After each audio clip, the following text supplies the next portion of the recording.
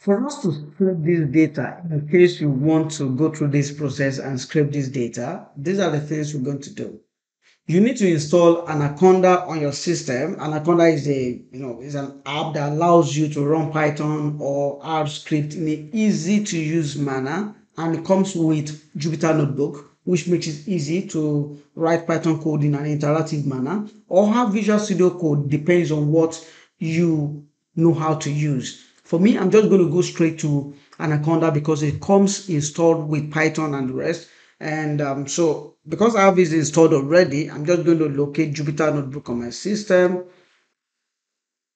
And it bring up this prompt and this prompt will load my browser and it's going to open up Jupyter Notebook. This is what this looks like. Then locate the data you've downloaded. Um, for me, it's in my download. That script, that I mean, not data now, that's the script, which is the 30DL tweet script. That is the script. I don't want you to go through any stress because you might have not have this package installed. That is why I have it here. pip install snscrape. If you have by default pandas will be installed once you install Python and the rest.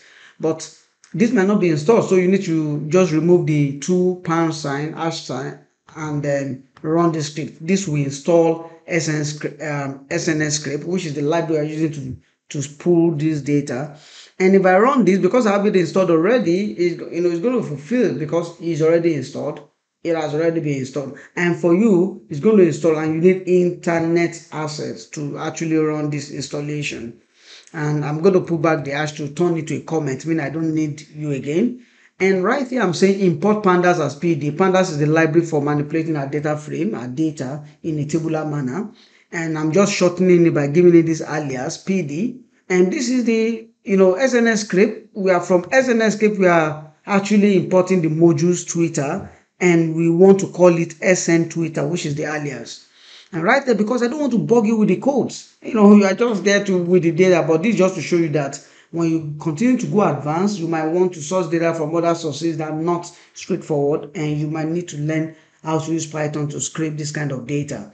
So this is the script we are, we are query we are writing that the library will take and go over to Twitter and search for those details and bring those um, value we're interested in interested in back to us. See, anywhere you see 30, 30 days of learning, or NG 30 days of learning between, you know, since 1st of May till 26th of June. Okay, let's just make it mid mid May. That's uh 15th. Uh, I think I started that early, um, 3rd or 5th.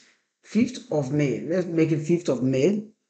And um, yeah, all these, I don't want to bore you with it, but it's just the functions we've written to get the data. So this is what we are looking for, the date, the URL, the username, all these details are already here.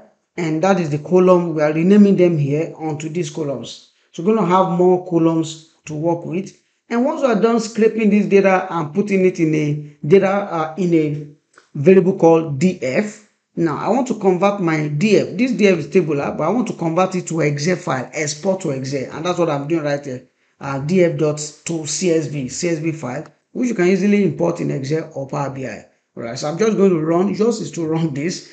I'm going to run by using um, shift okay. I didn't run the import. That is why he's saying I don't have access to this guy.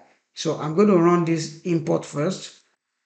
Yeah, I'm asking import. Okay, it's done importing now. Then I'm going to run this. This might take some time because it's really going right now live. You must have internet connection going live to Twitter using those queries to look for data and tweets that matches it and gathering all this information about them the date, the tweet URL, the user, the source, the location, the tweet, the likes count, the retweet count, the quote count, the reply count Okay, it's done. You can see now it's done and it has stored it as 30dl tweet.csv in my uh my directory wherever I'm running this code query from.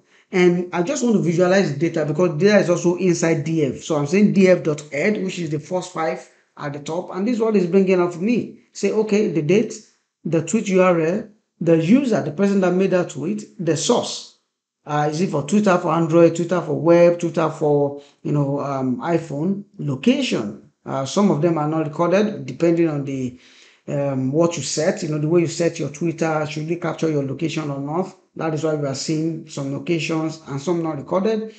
And you see tweet, what was the exact tweet that we have there? The likes count, how many likes, the retweet count, the quotes count, the reply count, which are all that we've asked for right there. Okay, so and if I do a description as well, just give me five number summary, which is what I always call it. it, is saying, oh, the total count of tweets is 680, and the mean, all those, you don't actually need them yet. All right, so we've been able to save this. In case you can go through this process, this same data that we've exported now, going to have it available as well in our GitHub profile. You will see it right there. So um, just download the CSV file and proceed to use Power Query to bring it into Power BI if you want to do any cleaning, you do those cleaning there. Then you can flow into um, the learning for today. Thank you and bye.